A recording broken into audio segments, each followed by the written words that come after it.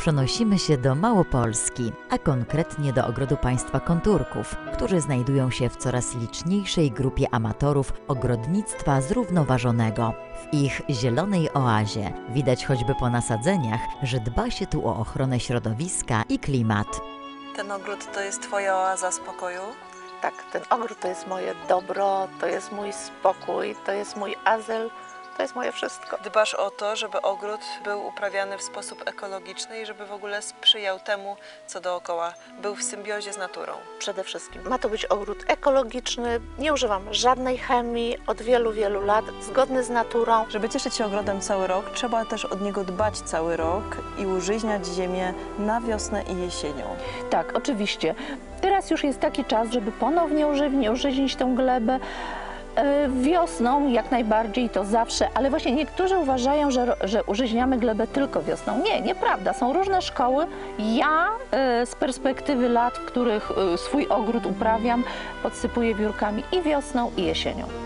Jesień to dobry czas, by zadbać o glebę i o to, by nasz ogród cieszył nasze oczy wiosną. Jeśli chcemy, by był proekologiczny, można zdecydować się na biologiczne ulepszacze gleby, na przykład z bydlęcych rogów i kopyt. Ma pozytywny wpływ na wszystkie fazy rozwoju roślin. Oprócz tego, że jest źródłem azotu organicznego, dostępność składników odżywczych jest wolniejsza niż w innych substancjach, a zatem, będąc środkiem użyźniającym o powolnym transferze, wspiera rośliny w całym cyklu życiowym. Jest hygroskopijny, dlatego utrzymuje wilgoć, stopniowo uwalniając ją podczas okresów suszy. Oprócz tych właściwości, wióry z rogów i kopyt są również środkiem utrwalającym, dlatego mogą być stosowane w uprawie kwiatów i trawników ozdobnych. W szczególności zwiększają mikroflorę i mikrofaunę terenu, przekształcając próchnicę i zmieniając miękkość gleby, umożliwiając napowietrzanie systemu korzeniowego.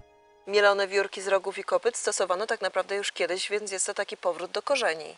No w pewnym sensie tak. I muszę przyznać, jakkolwiek e, sprawa tego użyźniacza gleby e, po, po, znaczy przyszła do nas z Włoch, z Niemiec, przede wszystkim z Francji, to proszę sobie wyobrazić, że już nawet są polskie publikacje z XVII i XVIII wieku, e, które świadczą o tym, że naturalny obieg w przyrodzie jest bardzo wskazany i bardzo pozwala na użyźnianie gleby, właśnie obumarłe ptaki, rogi, kopyta. To wszystko już dawno wiedziano, że to, że to wspaniale działa. Wszystko zostało w zasadzie zlikwidowane w drugiej połowie XIX wieku wynalazkiem, że można mieć nawozy sztuczne. Wymyślony cały system przez e, Justusa von Liebiga, Niemca, który pierwszy opatentował produkcję nawozów sztucznych, które zawierają dużo azotu, ale proszę sobie wyobrazić, że tyleż samo azotu zawierają również rogi i kopyta. Wszyscy odeszli praktycznie od tych, od tych starych metod i dopiero teraz powoli, powoli, no we Włoszech od 100 lat powiedzmy sobie szczerze, w moim domu od 20 lat, a tu w Polsce no myślę, że w najbliższym czasie będzie jakiś przełom. Na jakiej zasadzie te mielone wiórki z rogów i kopyt działają w glebie, jakbyśmy mieli tak obrazowo wytłumaczyć? Proszę sobie to tak wyobrazić. Mielone rogi i kopyta to są cząsteczki wielkości 6 do 8 mm, którymi podsypujemy kwiaty, rzucając je na ziemię praktycznie. Po podlaniu wodą przeciągu kilku dni one potrafią wniknąć w głąb ziemi. I tam znikają, powodując to, że zostaje zatrzymana w nich woda. No, po tym właśnie nawet pierwszym podlaniu. I ta woda już tam zostaje w glebie. Druga sprawa, uwalnia się azot oraz dwutlenek węgla przy rozkładzie tych wiórek, co powoduje tworzenie się jakby gąbczastej struktury pełnej, pełnej powietrza i co pozwala na upowietrznienie gleby. W związku z tym e, robaczki, dżdżownice, to wszystko zaczyna tam wchodzić, zaczyna to się wszystko ruszać, korzenie są upowietrznione, korzenie są odżywione i w przypadku suszy wiórka oddają powoli tą nagromadzoną wodę.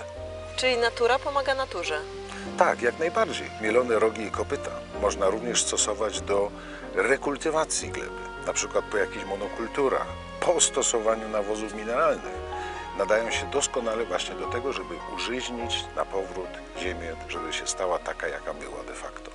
Biologiczne ulepszacze gleby nie tylko prowadzą do stymulacji wzrostu roślin, ale również do odnowy biologicznej gleby zniszczonej nawozami chemicznymi.